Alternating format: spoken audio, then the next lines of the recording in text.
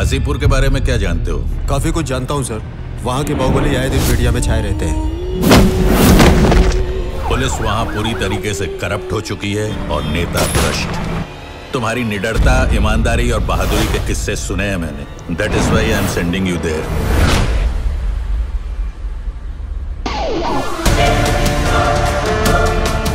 अभी दो घंटे के अंदर सारे के सारे ऑफिसर्स मुझे मेरी केबिन में चाहिए। अरे शर्म आनी चाहिए यार आप लोगों को।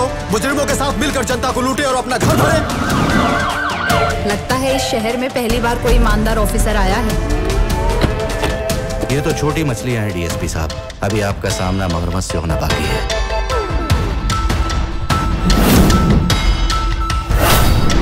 वो इंसान नहीं जानवर है।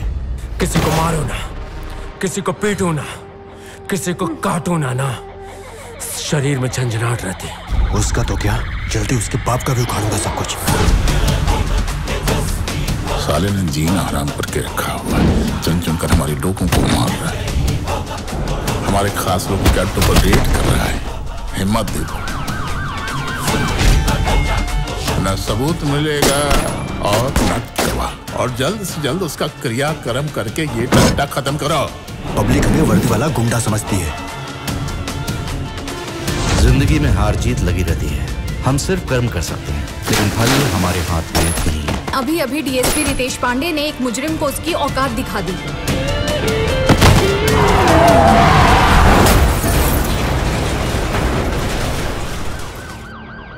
कानून और सिस्टम को पेशा बनाने वालों को छोड़ूँगा नहीं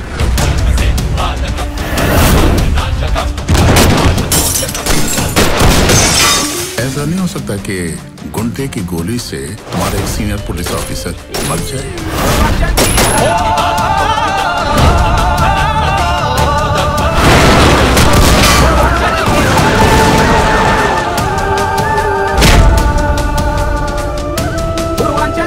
इस